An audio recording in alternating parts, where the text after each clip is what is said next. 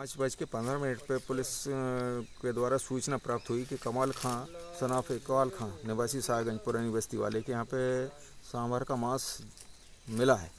तो उसकी सूचना पर हम, मैं पहुँचा और मैंने पहुँच के अपने अधिकारियों को सूचना दी और इसके बाद वहाँ के स्टाफ बुलवाया। पुलिस और वन विभाग की संयुक्त कार्रवाई में उस मांस, उसका मांस जब्त किया और जहाँ पे सांवर को इनके द्वारा मारा गया, कमाल खां के द्वारा मौके पे लेके आए।